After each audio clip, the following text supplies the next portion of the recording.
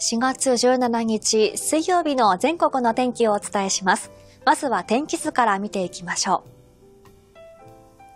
低気圧や上空寒気の影響を受けて北日本や関東では雨や雷雨の可能性があります。それでは天気の移り変わりを見ていきましょう。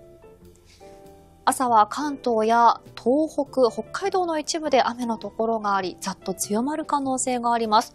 東北は午後になるとだんだんと日差しが届きますが、北海道西から雨のエリアが広がります。お帰りの時間帯にかけて雨具をお持ち歩きください。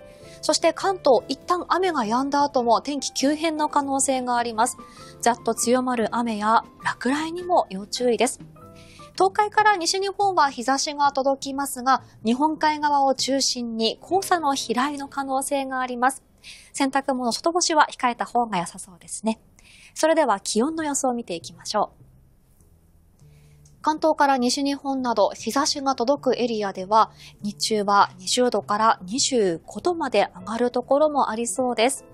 紫外線対策や水分補給などもしっかりと行ってください。朝晩少しひんやりとするため、服装で上手に調節を行いましょう。詳しい情報はお天気アプリウェザーニュースからご覧いただけます。